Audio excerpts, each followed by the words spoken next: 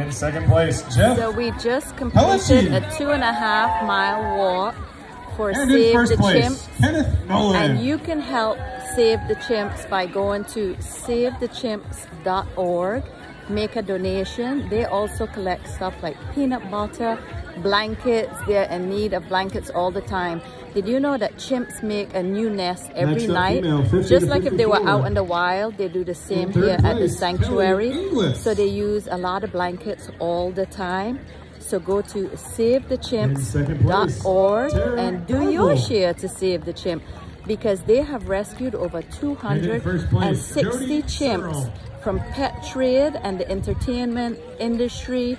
They've rescued them from labs. So you can do your part and help the chimps as well.